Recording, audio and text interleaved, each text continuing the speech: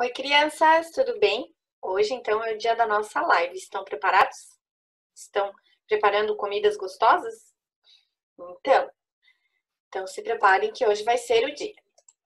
Bom, também é importante lembrar que hoje nós teremos a nossa atividade avaliativa de matemática, tá?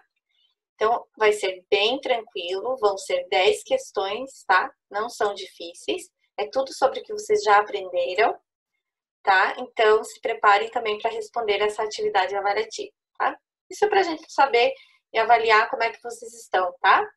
Então, vamos para a nossa aula. Então, aqui é o convite da nossa festa, tá? Não esqueçam, é hoje, tá? Dia 3 de julho, horário às 19 horas, tá? Live no Zoom, vai ser bem divertido. Conto com a presença de vocês. Vocês já foram em um supermercado, não é mesmo? Sabem que lá existe uma quantidade enorme de produtos, sendo alimentos, higiene, né? Então, tem vários produtos no mercado, frutas, verduras. Que tal hoje a gente se divertir e fazer umas compras? Hum? Vamos fazer uma compra online? Então, está aqui, ó. Opa! Antes de a gente fazer as compras, a prof quer ensinar vocês como que a gente trabalha com o dinheiro, tá? Então, muito bem. Aqui nós temos é, várias notas de dois reais, tá? Então, as notas de dois reais, se a gente juntar ela cinco vezes, a gente vai ter a quantia de dez reais. Então, dois mais dois eu tenho quatro, seis, oito, dez. Desculpem esse 2 aqui, que esse não precisa contar, tá? A prof colocou um a mais sem querer. Então, é 2, 4, 6, 8, 10. A gente está contando de 2 em 2. Então, com 5 notas de 2 reais, eu posso ter 10 reais.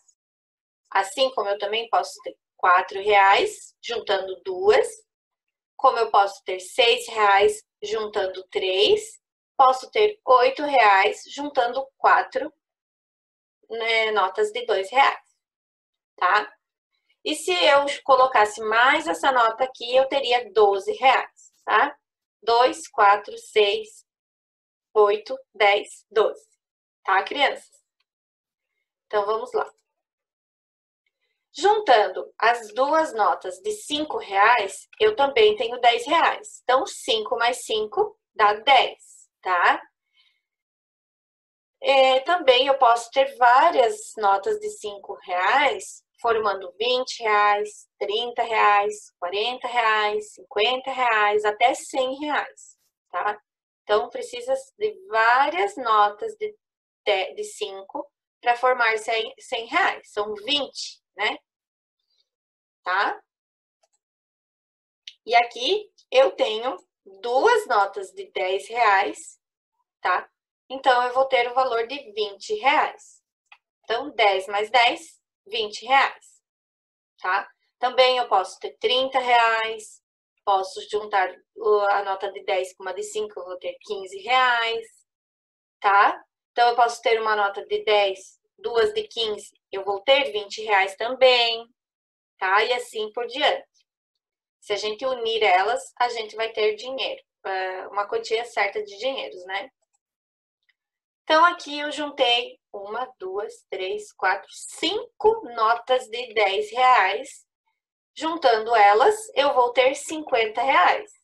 10, 20, 30, 40, 50. 50 reais, tá?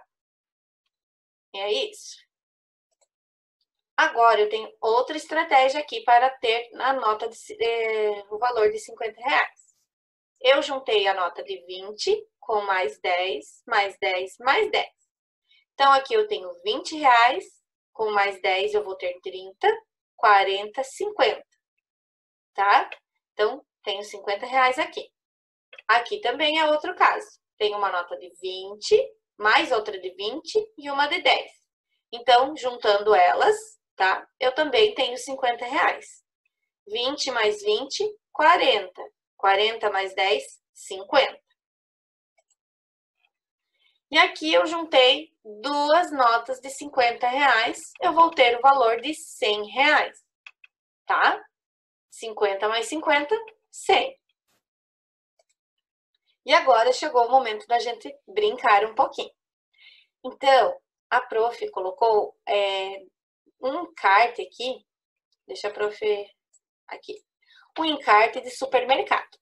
Nesse encarte, então, tem vários produtos, entre frutas, verduras, carnes, legumes, é, pães, pizzas.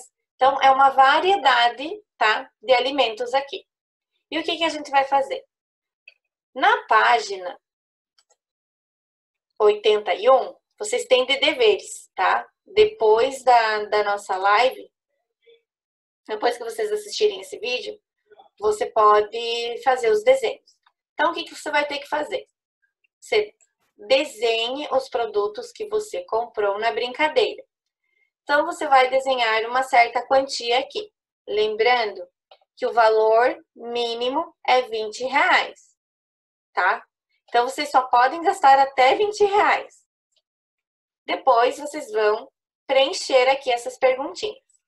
Qual o valor total de suas compras? Então, vocês vão ver o que vocês quiseram comprar e vão colocar aqui. Vão somar eles, né? E, e falar o total.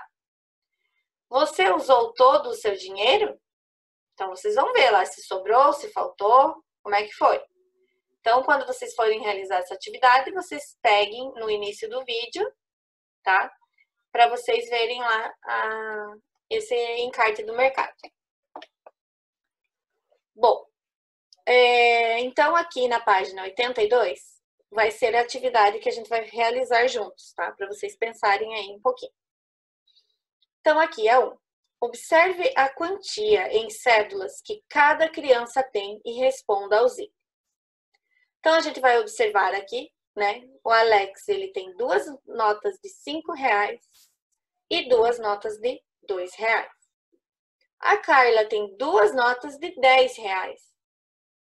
A Manu tem três notas, uma de 10, uma de 5 e uma de 2. Agora eu quero falar uma coisa para vocês. Será que importa a gente ter uma grande quantidade de cédulas, de notas? Tem que ver, né? A gente tem que sempre analisar. Porque às vezes não vale a pena a gente ter várias notas e não ter um total de dinheiro, né? Às vezes a gente tem várias notinhas de dois reais mas é, se eu tiver uma nota de 20, né, eu ganho de vocês.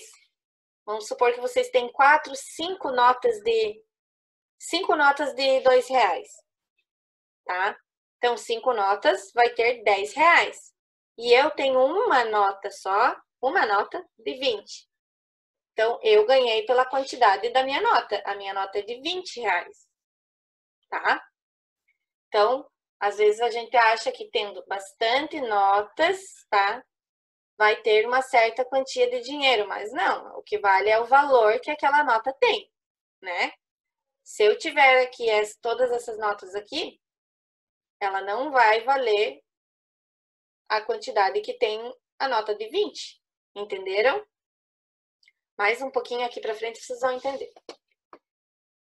Quem tem mais cédulas, então, observem ali e respondam. Quem tem mais cédulas?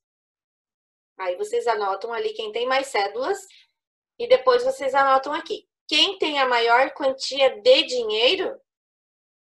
Então, é aí que, que conta. Então, quem tem mais cédulas?